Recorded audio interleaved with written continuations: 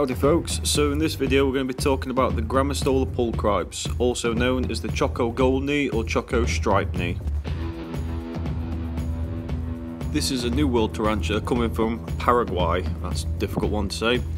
Their natural sort of temperatures range from about 17 to 24 degrees and about 65% humidity out in the wild.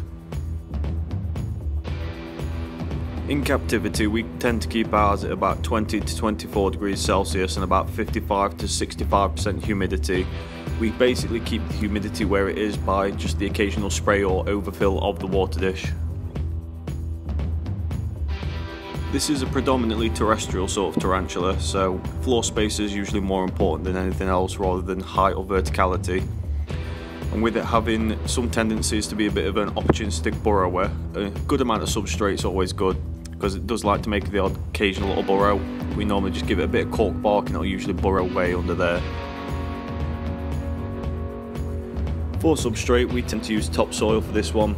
We do that with most of our terrestrials and opportunistic burrowers. They seem to prefer that and it seems to be easiest for them to actually make the burrows in rather than cocoa fibre which tends to kind of get a bit more mouldy a bit quicker and hold a bit more humidity. As I always say, all tarantulas need water dishes. Tarantulas always need water dishes. I'll say that a thousand times because I keep seeing it online where people say use a sponge that's damp. Don't do that. Use an actual water dish. Tarantulas need water. This species is actually a really good eater. It rarely ever turns down food. As you can see, ours is getting ready to molt, uh, so it's quite large at the moment. I believe this one might be a female as well and it's it's getting quite big quite quick. Its growth rate is really good. It's not crazy fast, but it is quite quick. Every time it molts, it seems to almost double in size. As a fully grown adult, these tarantulas actually tend to get between 7 and 8 inches. We've noticed that ours currently is about 4.5, 5 inches and it's still in the more or less juvie stage really. As for temperament, this one's really docile. It always wants to come out. It always wants to be inquisitive.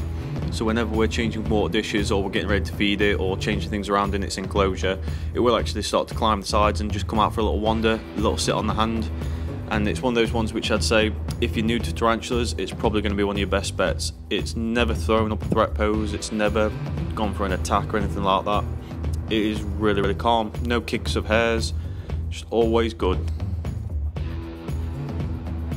Obviously with this being quite a large tarantula, one thing I will always say is be careful in case it does bite because mechanical damage is a thing that could happen. And with fangs the size of this one it could actually cause quite a lot of damage if it was to bite you. But like I say we've never seen any form of aggression from this tarantula at all. It's always been lovely to us So yeah, this is definitely one I'd recommend for people who are just getting into the hobby and they want a tarantula that's beautiful because as you can see, it's quite dark in colour and then it's got those lovely gold chevrons, the gold markings, the gold rims around its joints and things like that. And even where it's going bold because it's getting ready to molt, it's started to go gold there as well, which looks absolutely stunning. There really isn't enough good things I can say about this tarantula. It's we've got I think it's four of these now. We've got a couple of slings, we've got a couple of juvies, and we absolutely adore this species.